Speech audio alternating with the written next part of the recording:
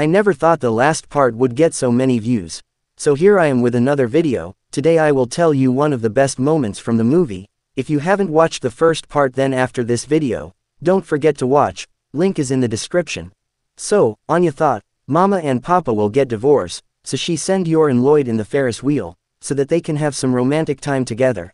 Then in the Ferris wheel, Loid asked Yor, why she is so sad, and why she is acting so weird, then Yor tell him, that she saw him with his girlfriend, then Loid tell her that, that girl is not his girlfriend, she was just asking him for directions. Then Yor became happy again, and then, Loid start flirting with her, he ask her whether or not he is good husband. And grab her hand. But Yor is yours always, she slap him very hard that he jump out of Ferris wheel.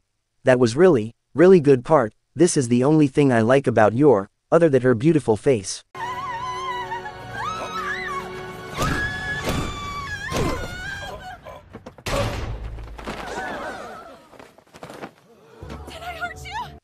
Well that's it for today, if this video gets 10 likes, then I will again upload another part. Also don't forget to watch the first part, link is in the description. And if you are a true weeb, then check out this playlist, I made specially for weebs.